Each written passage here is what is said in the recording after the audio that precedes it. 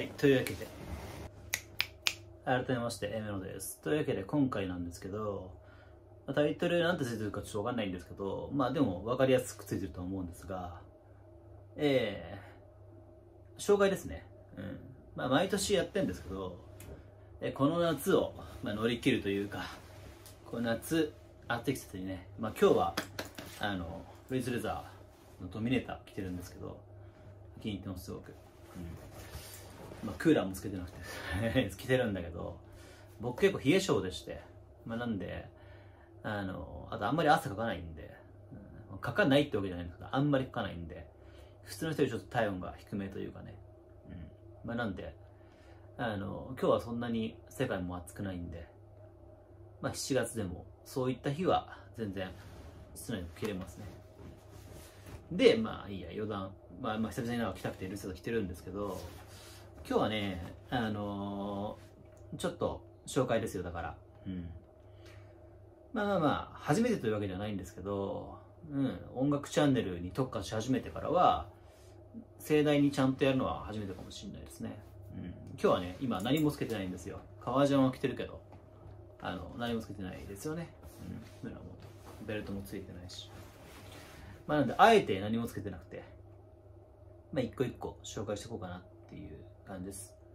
まあ、これからの季節、暑くなったこの夏というかね、7月、8月っていうのがおそらくまあ最も活躍するその季節なんで、1年の中で。うん、なんだ夏にしかつけないものとかつけれないものもあるんでね。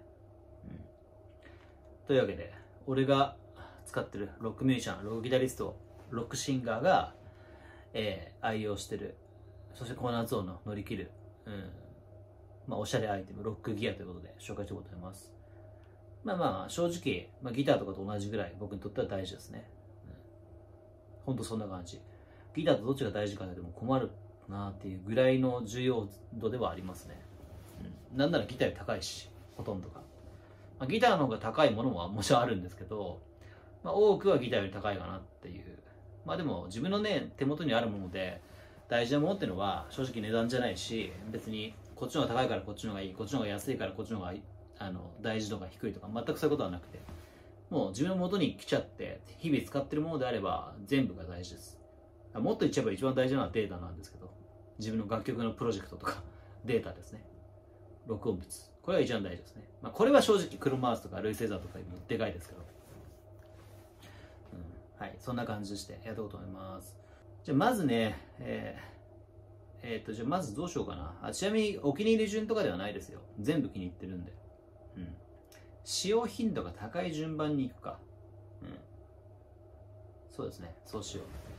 えー、まあ、ちょっと財布とか除いてね。財布は使用頻度も何も絶対使うからさ。うん。えー、まあ、これかな？一番は。クロムハーツのね、えー、ローラベルト。こういう風になってるんですけど。まあ、たまに見るよね。俺結構使っつけてるから。今日はあえて何もつけてないですね。このローラーベルトはね、これはかっこいいですよ。うん。このね、部分がこう、くるくる回るんですけど、両ね、うん。で、ここがこんな感じになってまして。ケルティックローラーっていうので似てるやつあるけど、ケルティックではないですね。通常のローラーベルト。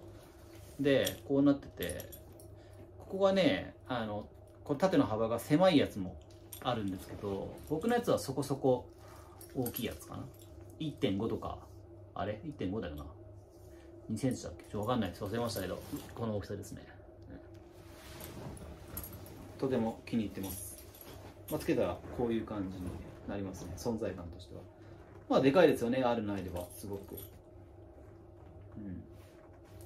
これはね、意外と、いわゆる何でも合うというか、まあ、ワイルドパンツとかね、こういったロックギアだけではなくて、いわゆるスラックスとか、まあ当たり前だけど、通常のブルーのデニムとかにも合うし、まあ、何でも合いますね。すべてのものに使える。なんならスーツにも使えるというか、まあそれがいいとこかなっていう、まあ、こんな感じになってまして。このね、この革の、このレザーのベルトの部分、これもすごく上質でねいい革なんですよね。気に入ってますね。オニクラムハーツの刻印がありまして。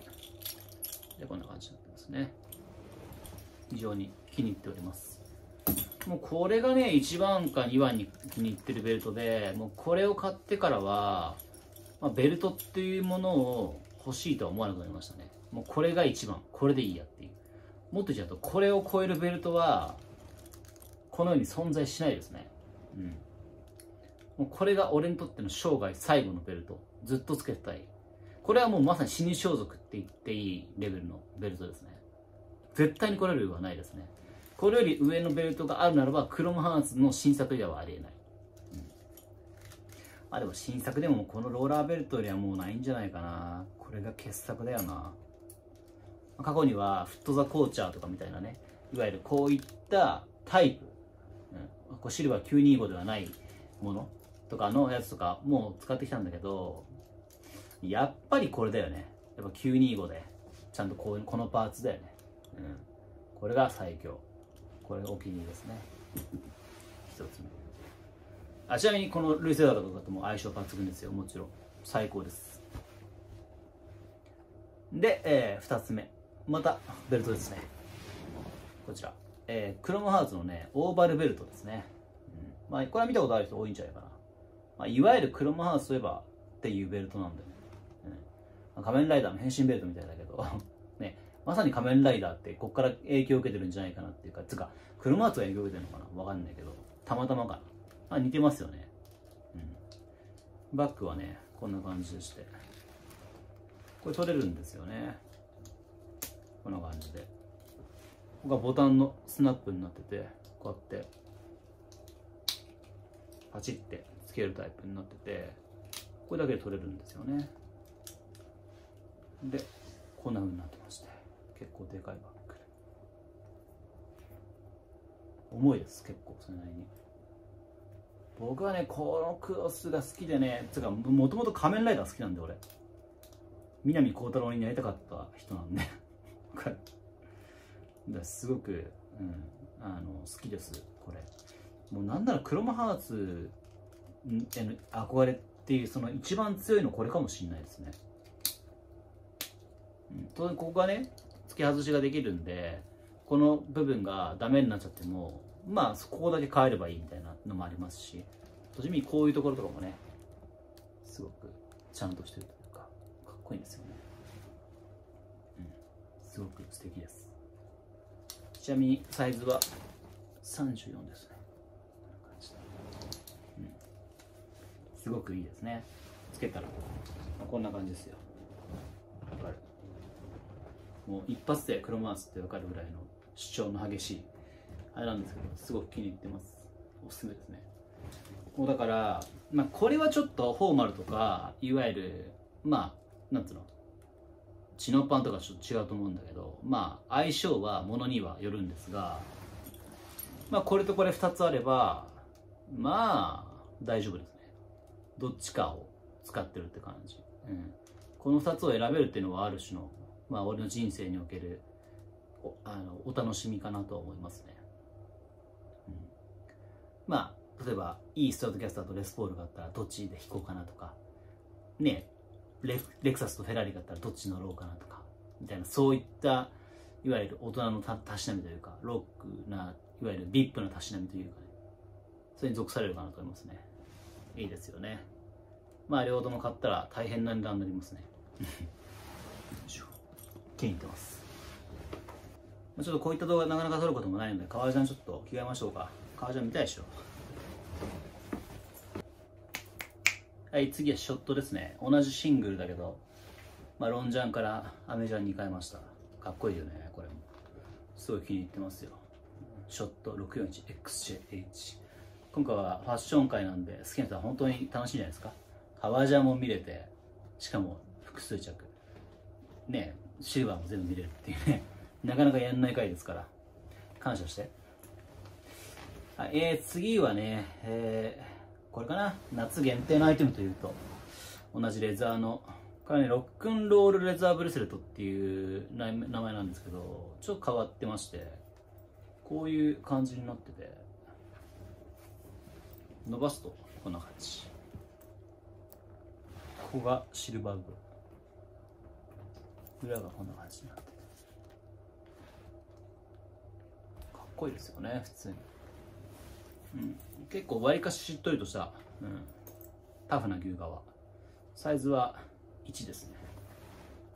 1これ。これねここにこう入れてこういうふうにね入れてこういうふうに入れてでこうやってここでここで押さえてこうやって。で入れて刺すみたいな穴はね結構3番目ぐらいまで刺せるんですけど231ってまあ好みのとこでやりますね、うん、革ジャン着てる時はねもちろんつけませんよ、うん、あのあの半袖だったりとかの時とかにつけるものですね。すごくかっこいい。本当に1個だけこのねシルバーパーツがあるだけであとはシンプルな作りなんですけど1個っていうのは逆にすごくかっこいいですね。入るというか。パンチがあるだからベルトの本当にブレス版みたいな手首版みたいな感じですよ。本当に。すごくかっこいい。気に入ってます。これがね半袖とかだと入るのよね。あとギターのプレイにも映えますね。つけてると。結構太さもあって。この太さがねここの幅がこの幅がね広いやつもあるの。もっとでかいやつとか。あと2連のやつとか3連のやつとか。僕はあこれより薄いのもあるのかな。で俺はこれがこれが好きですね。この大きさが、うん、というわけでロックンロールレザーブレスでしたね。もうこのもうこのレザー3種。これだけもねかなりもうあのエジカルあるし結構あのねあの素晴らしいですよ。ビップアイテムですね。で次ですね。てかショットかっこいいな。64XJ1 ショットのシングルも最高ですよね普通に。超革質いい。暑いからやっぱクーラーつけようで次は、ね、ちょっと黒マーツからずれるんですけどあのアレックス・トリーターっていうねブランドの指輪ですね。俺がよくこのここにつけてる。ギターとかこうやって弾いた時にここでさあんじゃん黒いやつ。あれですね。これマジ重要ですね。これワンチャン持ってる中で一番重要かもしんない。使用率マジ高いですね。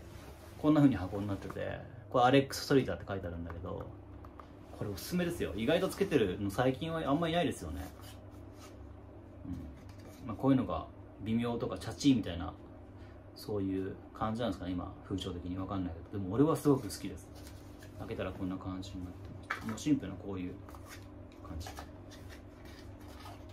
こういうなんか箱もいいよね。普通に。俺は好き。でこういう感じになってまして。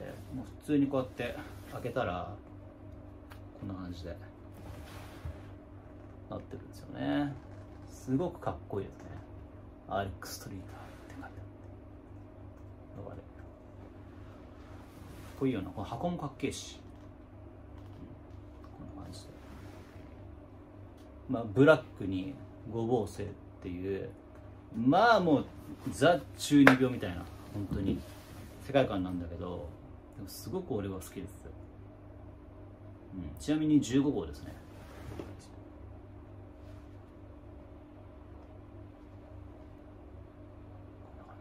かっこよくない？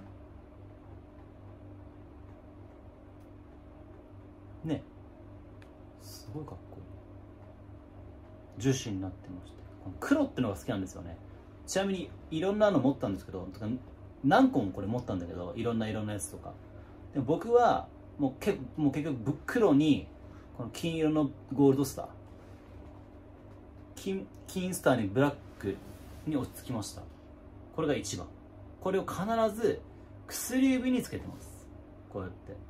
これが俺のこだわり、うん、しかももういろんなものをこうやってバーつけてきたんだけど最終的にもうシルバーアクセル20年以上好きでつけてきたんだけどもう一つしかつけないっていう。もうここの状態。これ。これがベスト。これが一番俺のもうたどり着いた悟りというか、他にねつけると微妙になっちゃうんですよね。ギター弾いた時とかも例えばこうやってねあるじゃん。でこうやって今日ねこう1個だけあるのがかっこいいんですよね。わかる？こうアルペジオとかやった時とかもまあアームチョッパーとかしないけどこういう時とかもこうストロークやってる時とかこうやってる時とかもこう1個だけがこうなんつうのピッキングと一緒にこう連動して揺れる揺れる揺れる、うん、踊ってるみたいな。これがかっこいいんですよね。これがたくさんだとちょっと微妙し弾きづらいし。でこうないとちょっと寂しいわけですよ。わかるかなこの感じ。いやマジでギタリストの人は指輪つけた方がいいですよ。すごくいいアクセントになるしかっこいい、まあ、もちろん薬指である必要はないけど。俺は薬指が綺麗で好き。うん。慣れれば別に特にプレーには支障ないし困らないし。ちなみにこっちはつけないです。あのもう終わるんで。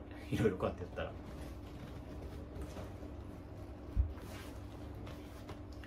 はいというわけでねアレックストリーターでしたね、まあ、ちなみにちょっと緩くなりますけど逆にもつけれます。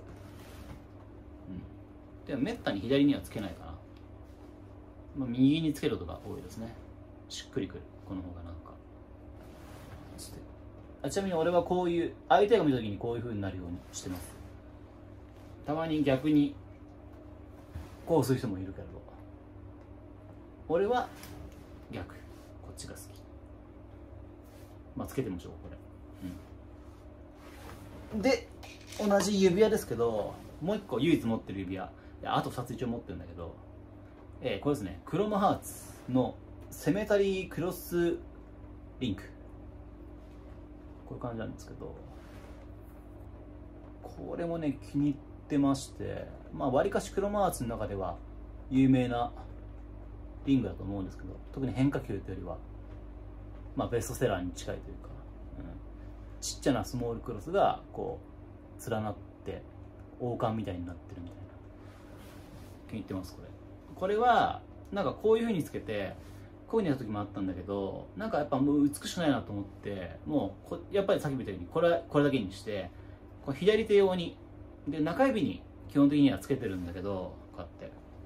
だから片手に一つ片手に一つっていう何ならもこうやってつけない時もあるんだけどこっちをつけてこっちをつけてないって時はあんまりないんだけど、うん、優先順位としてはね。でまあこれ好きでつける時はつけますね。ただこれねちょ緩いんですわ。あ吹っ飛んだ、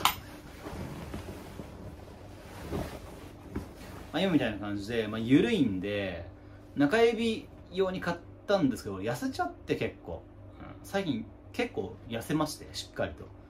なんで人差し指にこうやってつけることが多いかも。寝起きとかだとねあとすごいむくんでる時はこういいんだけど中指で。もう通常だと怖くてこうもうスポスポでもうこんな状態だからほら。だからこっちにしますね。とかなんならもうね痩せちゃって親指にも入るのよ。だからこっちにこうやってやってつけてますね。こんな感じつけるとこんな感じですね。やっぱ中指が一番でも見た目としては美しいんですよね。なんでそんな感じだからって太りたくないんでねあれなんですよ、まあ、黒マーツでしたでえっ、ー、と次。ブレスレットいこうか。じゃ次ブルセットですね。これはねまあほぼ夏限定アイテムですね。さっきのこのレザーブレス同様、うん、ちなみにこれは俺は右手に基本的につけますね。でこちらは左手に基本的につけるこっち側。こんな感じでつけるんですけどまあこんな感じで。これは何つうんだっけな？正式名称。えー、っとファンシーインクブレスレットかな？確か。ファンシーです。ファンシー。でも全然なんか黒松。当たり前につけてるから忘れちゃってるよ。そうファンシーって言われるものでして。ウォレットチェーンとかにもあります。でここがいわゆるクリップになってまして。でこんな感じでこう連なってる。んでわかるかな？気に入ってますねこんな感じでこれはねオールドものって言われる古いもんなんですけど結構ずっしりきてますねこうやってやって。こんな感じで。うん僕はね革ジャンやっぱ好きで着るんで革ジャンとの相性がすごいいいんですけどどうしてもね秋冬とか革ジャン着ると袖が僕はねあのツンツルテンっていわゆるいわゆるあのパンクスが着る着方の袖だけの長さの革ジャンが嫌いでてか大嫌いで。要するにこうなった時にもうまさしくこういう状態っていうんですか？うん。こういうこういう状態？これは嫌いでしたよ。もうねちゃんとここぐらいまで。まさに今ブレスレットがあるとこぐらいまでには袖丈が来てほしいんですよね。というかまさに今このブレスレットがあるとこぐらいまではこの袖丈の先端が来てほしいんですよね。やっぱり。その方がなんかロックというか。だからブレスレットとの相性は悪いんですよ。なのでどうしても夏限定のアイテムにはなってしまいますね、まあ、だけどそれでも持ってますね。1年の中でそんなにつける機会がないから別にいらないかなと思った時があったんだけどやっぱりあったらあったでかっこいいし落ち着くしすごくやっぱね重厚感があってかっこいいんですよねすごく。さっきにあげたこのセメタリーこれとの相性もすごくいいし、うん、かっこいいです。気に入ってる。でも逆に言ったらこれだけでよくてあとこことかこことかこことかこことかなんかもう一個つけるとかそういったことは全然もう今の俺はいいですね。昔はしたかったんだけどねもう全部車ってもうこういう風にしたかったんだけどもう蛇王演殺黒竜派みたいな したかったんだけどもうこういう感じになってこれでもちょっとガヤガヤしてるかなって思うぐらいにはなってます。もう。だから、これで出たらもうこれでいいかなみたいな、うん、それかまあ本当にこっちのこっちなくしてこれだけにしちゃうとかね、うん、それかまあ一個一個にするとか。まあいろいろやり方はあるしそれぞれでその時によるんですけどとにかくガヤガヤさせないようにしてるっていうのはあります今は大人になりましたね。ファンシーブレスレットでした。これもすんげえ高いですね。これだけでギター買えますね。ギターっていうかうんとマイクでいうとこの U87AI とか買えるしルバート・ニーブのシェルフォードチャンネルが買えたりとか ルイス・レザーが2着とか3着とか買えますね、まあ、そういったすごくエクスペンシブなものです。で次があとちょっとなんですけど首ですかね。最初これですね。これはね、えー、フレームとチャームクロスペンダントみたいな。こんな感じなんですけど。真ん中がねこうダイヤ入ってまして。でその周りクロスの周りがいぶしでこう黒くななってて。で後ろがこんな感じで刻印が結構刻まれてるというか。で純正のプロマーツのボールチェーンですねこれは。すごく気に入ってますかっこいい。結構使ってますつけてるよねこれ。今何もつけてない。胸元こんな感じなんですけど本当にさりげない。ちっちゃいアイテムだからさりげないんですけど、まあ、ちっちゃいけど存在感はすごく抜群というか、うん、すごい目立つ。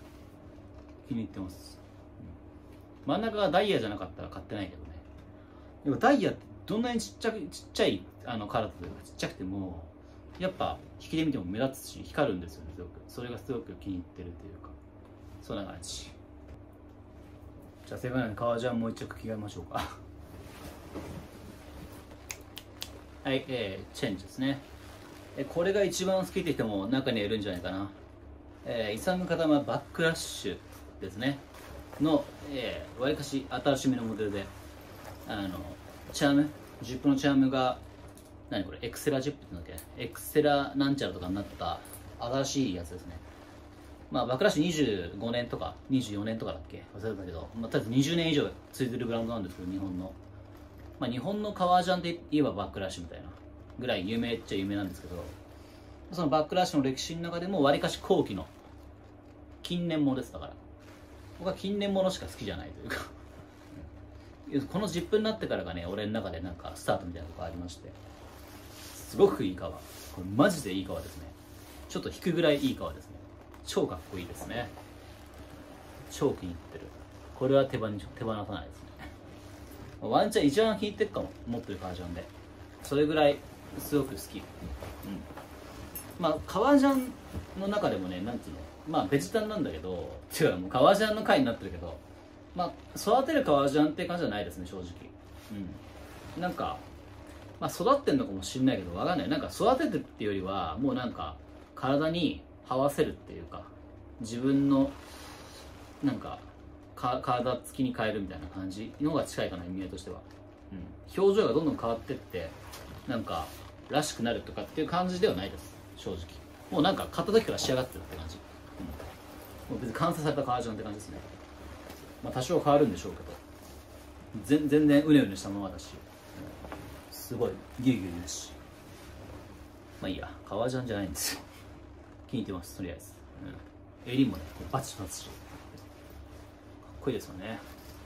昔持ってたねバックラシの革ジャンはねこの片方だけ襟がね落ちてくるっていう現象がありましてそれ気に食わなくてすごく嫌だったんですけどこいつに関してはそれがなくてすごくかっこいい。気に入ってる、前締めてもかっこいいしショルダーショルダーレザー。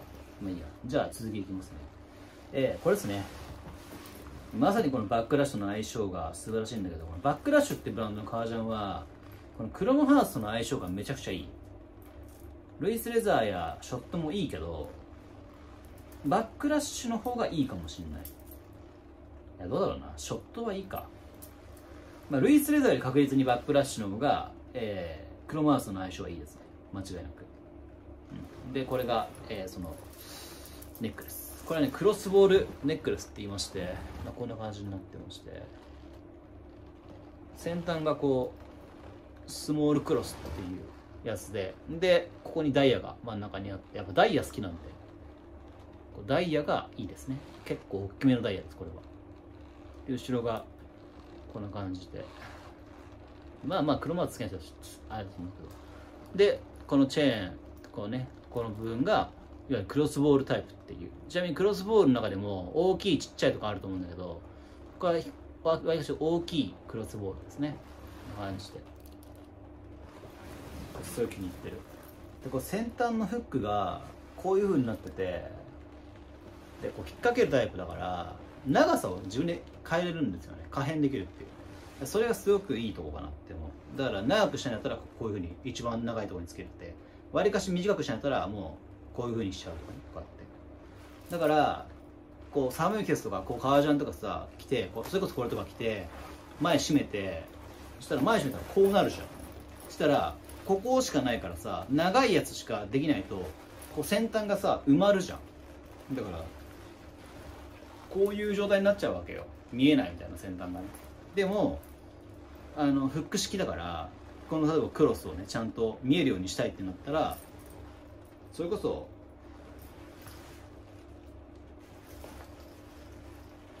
こういうふうとかにすればこうやってね見えるっていう。これ結構短くしてます長くすると今ので上から4番目とか5番目かな。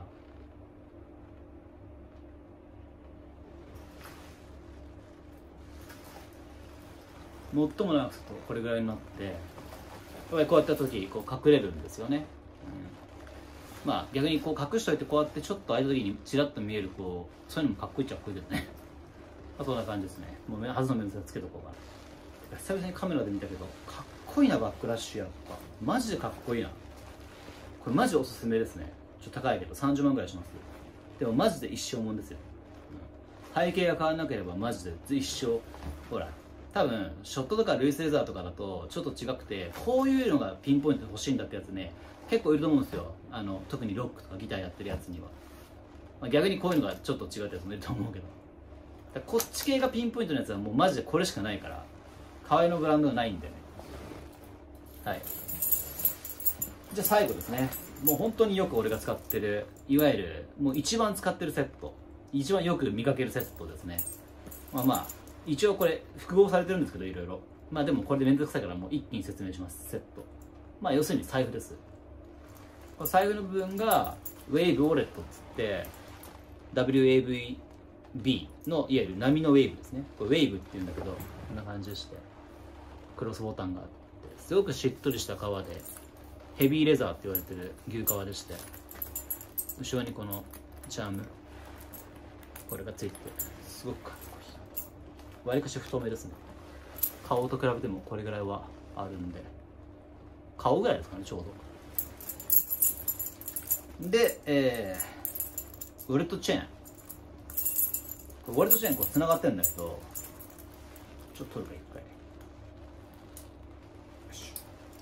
こんな感じになってまして。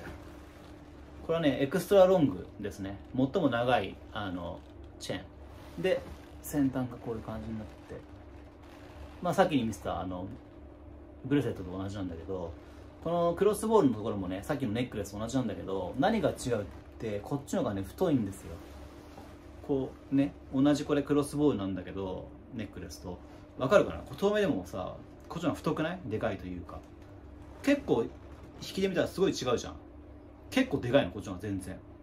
ただこのウォレットチェーンの方もこのネックレスと同じぐらいのいわゆる細いタイプのクロスボールもあるんですよね。で僕はあえて腰につけるから太い方にしました。気に入ってる。しかも長いのにあえてした。俺短いのあんま好きじゃないんですよね。なんかおまけ程度についてみたいな感じがしてなんかロックじゃなくて好きじゃないです。ドンといけよって感じがしまして。これ財布。で、まあ、これにつながってるのがこれなんだけどこれキーチェーンいわゆる鍵のやつ。チェキーチェーンとこの二股に分かれてるのがベルトループ。ていうこういう風になっててベルトの中にこうつなここにベルトを通してこうつけれるだからこれこれボタンになってるんだけどこうやって。こうやってクロスになってて。このベルトループでも今って多分45万するからね普通に。この黒いとこだけで。やばいよ。でこれがいわゆるキーチェーンでこれファンシーキーチェーンって言われるここがブレスレットと同じファンシーになってるんだけど、それ気に入ってますね。でびこれ受けるのがさここにねあのナロー V バンドリングっていう指輪つけてるんです。これ。わかる？指につけるものなんだけどあえてこっちにつけてこういうふうにしてますね。なんかその方がこうなんかわかる？こう引き目の時にこのバランスがさなんかおしゃれじゃない？こっちの方が。わかる？これがないとこういうこういう見た目になるんだけど思いっきし鍵のところが見えちゃってなんかちょっとなと思って。でこうやればこの立体感っていうのがなんかいいなっていう。こう思いっきりこう鍵がさねこう来るよりもこうやってあった方がこうなんか横から見てもここから見てもなんかやっぱいいなって。のがあってこだわりでこっちにつけてますね。でさっきのとこうドッキングというかもうダブルゼータガンダムみたいなこうコアファイターと合体するみたいな感じでで1セット。というわけでこれが俺のお気に入りのクロマーツですね、まあ、なんで今全部パパッと紹介してきましたけど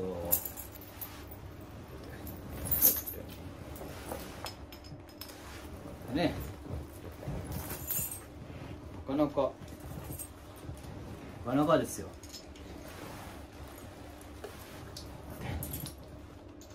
ほら。でね。